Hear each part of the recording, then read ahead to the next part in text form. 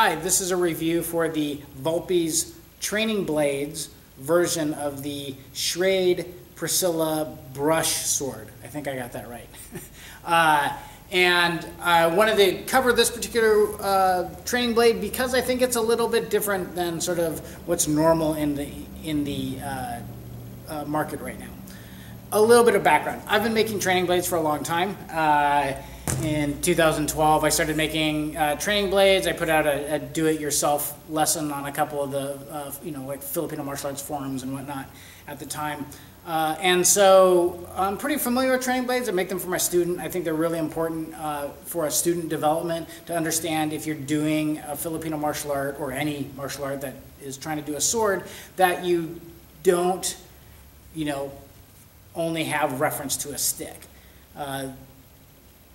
This, and, and so, and then this now in my hand right now is actually something I whipped up. Again, I've been making, I've been making these a, a long time, so I wanted kind of a um, sort of industry standard version of this that I could compare to the Vulpes training blade. And so this took me like literally 10 minutes in the garage last night.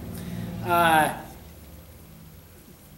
if a student starts out with something like this, this is a massive step up. It has an edge, it has a flat, right? I understand, you know, I, I, understand my edge orientation. Everything is a lot easier and it's weighted more like a sword, right? This thing is probably six ounces at this particular size, right? Um, this is twice that uh, for, for weight. Uh, so that's, you know, that's a, that's a good thing. Um, this is a great training tool for a beginner and I will often give a beginning student one of these when they're in their session so that they start getting a better feel for the edge and the flat. That said, at some point in your training, uh, and, and, and, again, good representation. Um, uh, and, oh, and I want to say that I'm a huge fan of polymer training swords. Uh, polymer, plastic, polypropylene, HDPE, nylon, they all have sort of different uh, uh, pluses and minuses. For a long time, aluminum training swords were uh, kind of cool because they looked like metal, right? Um, they, they, they moved, you know, they look fancy, they're kind of, you know, broad you still couldn't really spar with them. The only people I know who regularly spar with light armor with aluminum training swords are Dog Brothers, and that's because they're kind of odd. Um, and uh, there's dangers in using uh, aluminum training blades against each other. You can develop burrs and not know it, and then those become sharp and cut people. And so there's a lot of maintenance that goes along with those if you're using them against other weapons. Uh, they're not necessarily balanced any better. And so uh, for all those reasons, I've moved that if I'm going to use a metal weapon, I will use either a dulled machete or some other equivalent. Um, and then if we're going to spar with those metal weapons, we have appropriate safety gear uh, for that. And, but that is a massive step up if you're going to actually spar with that. So a nice intermediate step in that is, is uh, polypropylene or uh, polymer um, training blades, which are sort of fit this intermediate spot between rattan, which is a great sparring weapon, and steel. Um, so, yeah, so anyway, I'm a huge fan of training blades. I think they're super important for training. So where does the, uh, right, and from a distance, the Vulpes, which is now this one, compared to this one, right? I, again, this took me 10 minutes in the garage last night. If I wanted to make this kind of uh, similar to a Purple Heart Armory offering or something like that, um, I would put a, a, polymer, or sorry, uh, um, uh, a wrap on the end, but I just needed this to, to give you a feel for what it is. Um, in comparison, they look, both look the same. The stock on this, and this is standard, again, sort of standard in the industry, is half inch uh, polymer. So either um, Purple Heart, which is something like this.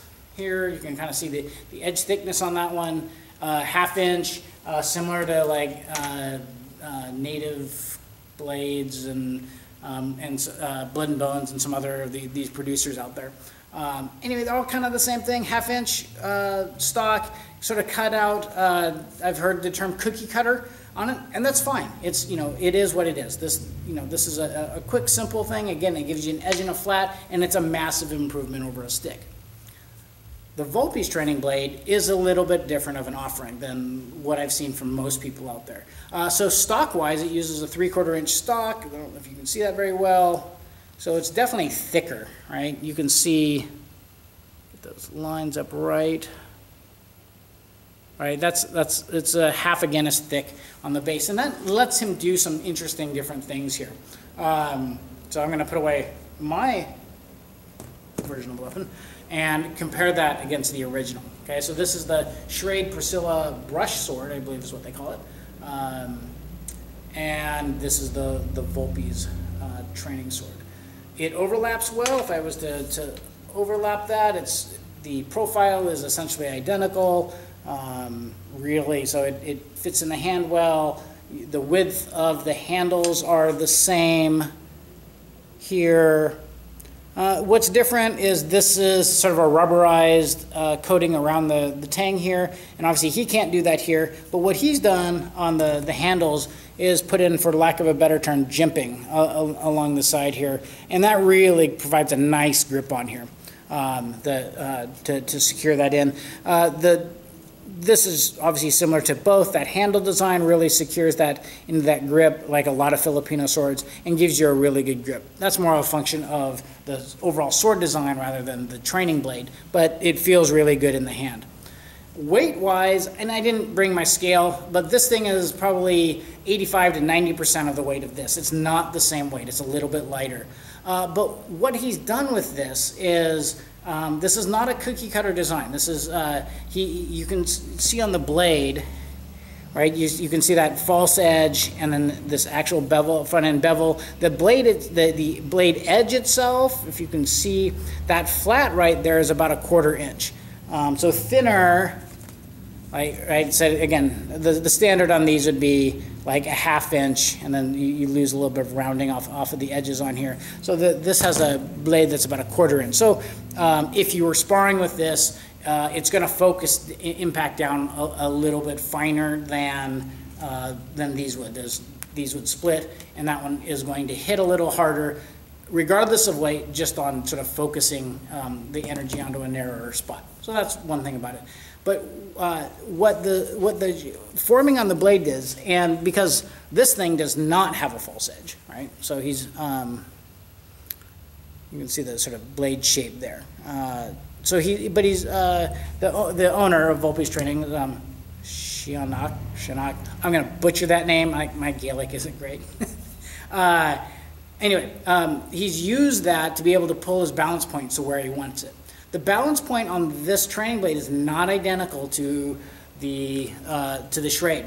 Um, it's about an inch forward, but what that has done is that has given a lighter weapon a very similar feel to the actual weapon. Uh, again, this is probably 85, 90% of the, the weight of this. I can feel the difference on it, but it's really close in handling. And, and that balance point, I think, is, is what did the trick on there. If he had just sort of cookie cuttered it and made it the same, that the, the lesser weight would be a lot more obvious. Um, so it handles very similar because that balance point moved forward and that sort of gives it that little bit of extra feel of weight in the hand and really makes up for it. I'm not saying they're identical in feel, but they're really close. Uh, the weight, this thing again is probably 85, 90% of the weight of this. This, uh, my sort of, you know, uh, quick, quick one off on, on this one is probably a third of the weight, you know, probably 35%, something like that. It's really light in comparison. And that can have its benefits for like a new student, uh, but if you're really looking for something to try to mimic your blade, this comes far closer than uh, the other one did. So, um, so what, you know, now let's talk sort of price points on this, okay? If uh, this cost me $65, um, and so uh, good, uh, good price for a training sword, okay? But if I compare it, certainly, right, so this rattan stick is a $5 training item. Just, so let's talk economics. $5 training item, okay? Uh, for me, this costs just a little bit of time. If I was to buy this on the market, probably the, the cheapest equivalent on the market is uh, Purple Heart Armory. Um, these would run, call it $30, okay? So then this is the Vulpes, this runs 65. Uh, why should I pay for twice the amount of this to this? And not, and probably not for every student. Um, to me, this Vulpes is for the discerning practitioner, the intermediate to advanced practitioner that really is looking for something that gives them the feel of the actual weapon. This is a approximation, and it's a it's a far better approximation than the stick is. This is much more like the weapon. Okay, and so if you're going to be using the training, and you know, sort of sport-specific training or weapon-specific training is important to you, this is going to get you far closer and in the game than the, the sort of the standard training blade that's out there right now. Um, and yeah, so like I, I think it's a good product.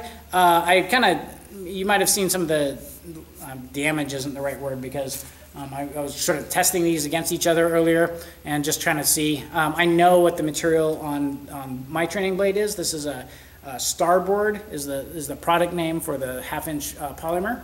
Uh, it's a marine grade HDPE, um, and I don't know what um, uh, uh, Shannock, I'm gonna kill that name, uh, used for it, but it seems at least equivalently as tough. So, you know,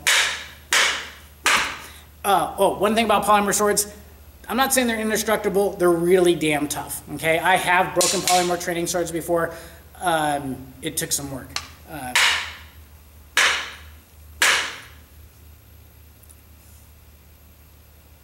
yeah, look at that.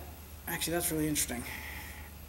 So that repeated striking on one spot on my sword, I don't know if anything, and I'm starting to start actually delamming um, right there on the edge, right there and right there. And that's actually a, a problem that I've had on, on some of my training blades. Uh, again, I've broken these before, where they, and when they broke, they didn't snap, they actually delaminated.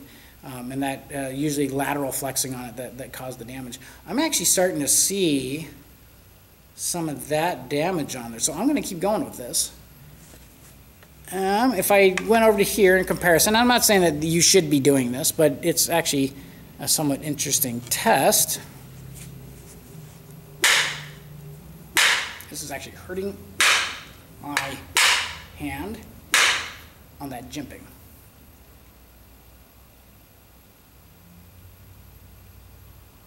Hmm. Anyway, I might have to blow this thing up later just to see what happens with it. But yeah, it's uh, those those delaminated points are actually getting worse, and I don't I don't know. There it goes. You can see it right there. Yeah, you can you can see that. Anyway, um, if I went to the edge equivalent here, part of this is thicker stock, and it might be actual material as well. So that's super interesting. Um, right. I'm not seeing any real damage. I mean, you're seeing rounding, right? That that's just compression on the on the uh, polymer right there, and that's normal. That's what you expect. And you know that level of uh, damage is unusual in training, so I wouldn't expect it to be common. Uh, but it's interesting that that damage started as, as relatively quickly as it is, because that was a, again a new training sword. So anyway, tough uh, tough sword. Um, I you know again I don't need to break a two by four with it. I, uh, um, it's not designed for that, but it's a really tough little sword. Uh, it feels like a sword. It, and again, I think this is for like that discerning practitioner who's looking for a little bit more out of their training sword than you know just a, a cutout of a out of a, um, a uh, blah, cutting board. so anyway, um, great product. Totally recommend it. Uh, nice job.